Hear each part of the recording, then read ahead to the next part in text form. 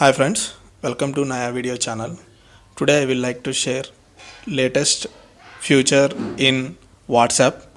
This is very useful. Uh, this update is uh, got latest uh, in the this week. I will like to show you how to set up your payments using WhatsApp. So when you open the WhatsApp window, you can see charts, status, and calls. In that, you can simply go to the section settings. Here you will see the payment option. Simply go to the payments, and uh, here you need to link your uh, bank account for your payment sections. Once you complete the, your link, linking your bank account, you can go to your chat section again. If you are uh, if your friends also same same way they will link uh, their bank accounts to their whatsapp account you can simply send amount to them so i will demonstrate how to send an amount to friends using whatsapp. So this is my friend.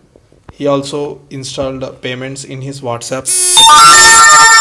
So you can simply go to this pin symbol like uh, regularly we used to send a files and contact details. Just click that pin.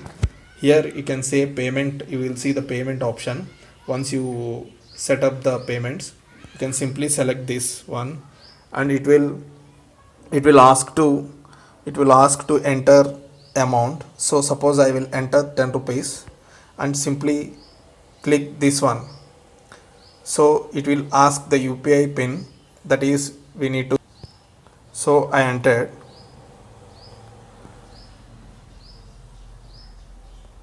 So your payment is under the processing section.